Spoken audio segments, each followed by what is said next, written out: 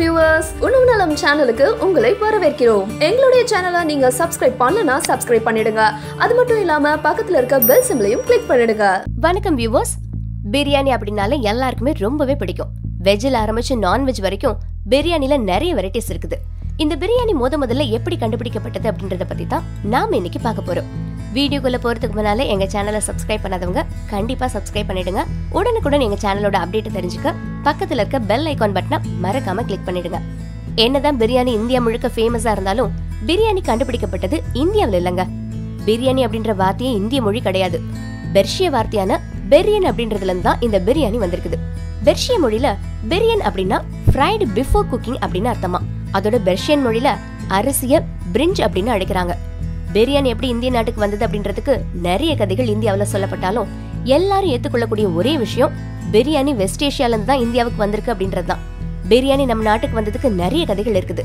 அதுல ஒரு கதை டிம்மர் அப்படின்றது. டர்க் மொனோகல் அப்படின்ற மன்னர் ஆயிரத்தி முன்னூத்தி தொண்ணூத்தி ஏழாவது வருஷம் இந்திய எல்லையில போர் நடந்துட்டு இருந்தப்போ அவரோட ஆர்மில இருந்த வீரர்களுக்கு சாப்பாடு கொடுக்கறதுக்காக சாதம் மசாலா பொருட்கள் மாமிசம் இது எல்லாத்தையும் கலந்து ஒரு பெரிய அண்டால சமைச்சு கொடுத்திருக்காரு. இப்படித்தான் பிரியாணி வந்ததா சில பேர் சொல்றாங்க.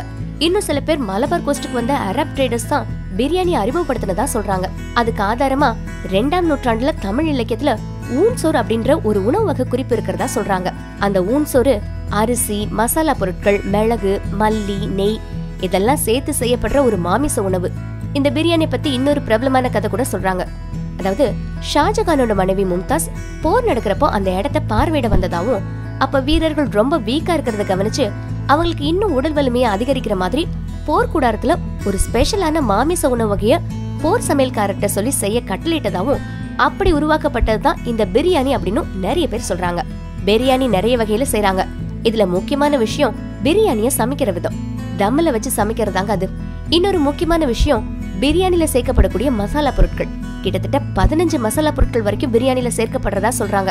எது எப்படியோ வீரர்கள் ஆரம்பிச்ச அரசர்கள் வரைக்கும் இந்த பிரியாணி ஒரு ஸ்பெஷல் உணவா வழங்கப்பட்டு வந்திருக்குது. பிரியாணில நிறைய வெரைட்டிஸ் இருக்குதுங்க. அந்த வெரைட்டிஸ்லாம் என்னென்ன அப்படின்றத பத்தி இன்னொரு சுவாரஸ்யமான பதிவுல பார்ப்போம். என்ன வியூவர்ஸ் இந்த விஷயங்கள் எல்லாம் உங்களுக்கு சுவாரஸ்யமா இருந்திருக்கும் நம்புறோம். இந்த மாதிரி இன்னும் நிறைய தேவையான விஷயங்களை பத்தி தெரிஞ்சுக்க எங்க சேனலை சப்ஸ்கிரைப் பண்ணுங்க. நீங்க அதிகமா அக்கறை உள்ளவங்களோட இந்த வீடியோவை ஷேர் பண்ணுங்க. உங்களோட கருத்துக்களை கீழே உள்ள கமெண்ட் பாக்ஸ்ல ஷேர் பண்ணுங்க. நன்றி.